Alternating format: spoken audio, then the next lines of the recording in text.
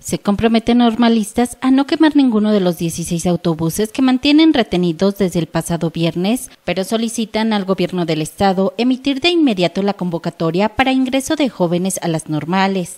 Es, un compromiso no haber quemado autobuses. Simplemente que así como nosotros estamos ejerciendo presión para que nos atiendan, que ellos de igual manera lo hagan. ¿Para qué?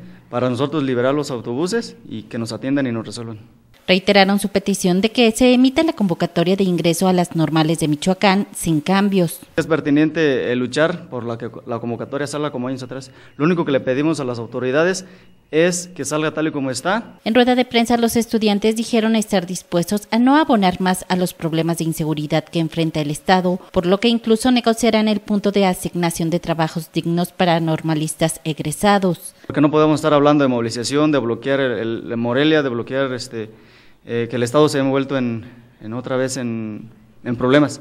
Lo que queremos es que el Estado esté pacífico, lo que queremos es una buena imagen del Estado. Este, y no, no, ahora sí no tenemos planteado volver a, a recaer en lo mismo, eh, como en actividades pasadas. Los normalistas lamentaron que tras la detención de Jesús Reina, el gobierno del estado haya ignorado incluso la toma de los autobuses. Hasta la hora, hasta la hora que es, no, no nos han mencionado nada.